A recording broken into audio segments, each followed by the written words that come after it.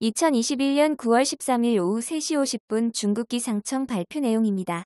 중국 기상청의 3시 50분 발표 내용에 따르면 14호 태풍 찬투로 인하여 중국 북부 저장성은 큰 피해가 예상됩니다.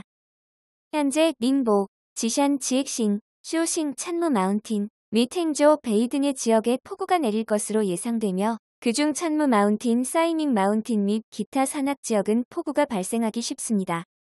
500mm의 폭우가 내릴 것으로 예상됩니다. 중국 기상기자는 왜 갑자기 중국 저장성이 위험에 놓여 있냐고 물었고 이제 중국 저장성 기상청 관계자는 태풍 찬투가 저장성으로 이동할 가능성이 더 높으며 14호 태풍 찬투의 속도가 가속화되어 현재 시속 약 25km로 증가했다고 말하면서 곧 저장성에 들이닥칠 것이기 때문에 대비가 필요하다고 이야기하였습니다. 중국 기상청 관계자의 설명을 보면 중국 저장성에 곧 14호 태풍 찬투가 강타할 것이고 3일에서 4일 정도 폭우가 지속되어서 큰 피해가 우려된다고 설명하였습니다. 현재 중국 저장성 기상청은 12일 18시 30분에 태풍 비상 대응을 4단계 중 최고 단계인 1단계로 격상했다고 설명하였습니다.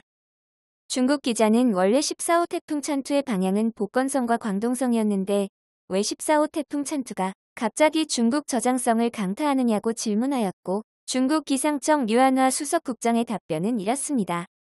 14호 태풍 찬투의 경로의 변화는 주로 아열대 고기압이 원인이 된 것으로 보여집니다. 강한 아열대 고기압은 열대 저기압이 서쪽으로 이동하는 데 도움이 되면서 아열대 고기압의 약화는 결국 열대성 저기압이 북쪽으로 이동하는 것을 도와주게 되면서 이 기간 동안 아열대 고기압은 많이 동쪽으로 후퇴하여 열대성 저기압이 북쪽으로 이동하고 점차 북쪽인 우리 중국 저장성으로 방향을 바꾸게 되었습니다. 시청해주셔서 진심으로 감사드리겠습니다.